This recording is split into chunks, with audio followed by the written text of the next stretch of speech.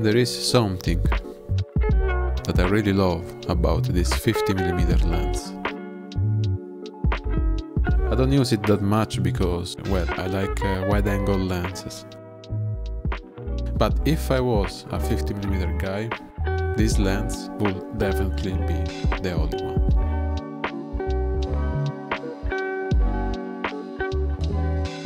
All the 50mm lenses are good, but this one has something more interesting than uh, pure sharpness.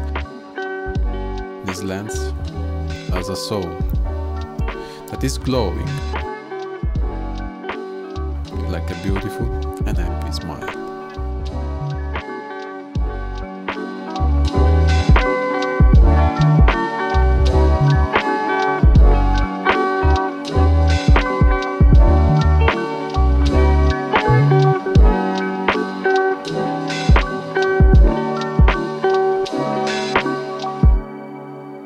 Who doesn't love good glass?